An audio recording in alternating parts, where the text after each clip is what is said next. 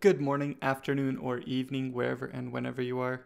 My name is Benjamin, and this is just a quick little announcement video and a video to kind of show you what I've been working on.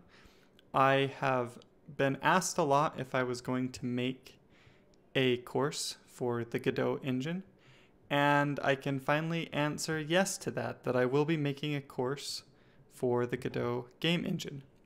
And I've actually got a Kickstarter that will be live when I put this video up that you guys can all see and that will be there'll be a link for that in the description and as the pinned comment. But I wanted to show you one of the projects that um, is in that Kickstarter and some of the stuff that I'd kind of been playing around with for the course.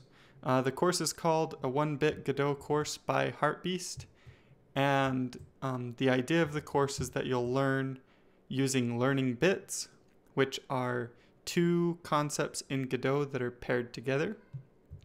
An example of a learning bit would be a kinematic body, which is used for the character, this character that's moving around on the screen, and a static body, which is used for the platforms that this character interacts with. And so that would be something that you would learn in the course together, that they would be paired together in a single video. So each video contains one bit, which is two concepts that are paired together in hopefully a useful way. Uh, and you can see this, this is kind of a little test project um, for the platformer. There's actually a few different projects that will be made in the course um, starting off with more simple projects and working up to this one. Um, and I've got stuff like moving platforms working, wall sliding, ladders, and slopes. And I'm pretty happy with how it all turned out.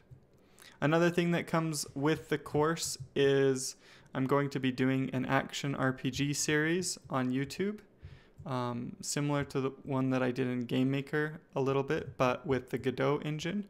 And that, of course, will be free. So even if you don't decide to support the Kickstarter, as long as the Kickstarter makes its funding goal, I'll be making that. I'll be making that series here on YouTube. And it seems unlikely that I won't reach the funding goal. It's possible, but that seems unlikely. So um, but there's also a, a tier where you can support support the Kickstarter even if you don't want the course, and that would um, go towards making the action RPG series as well on YouTube. So I think there's some good stuff for everyone with this, and I'm really excited to share it with you guys. Um, so check out that link in the description. There'll be a video on the Kickstarter page that explains more about the course exactly and goes a bit more in depth. Thank you all so much for watching this video, and I will talk to you all later.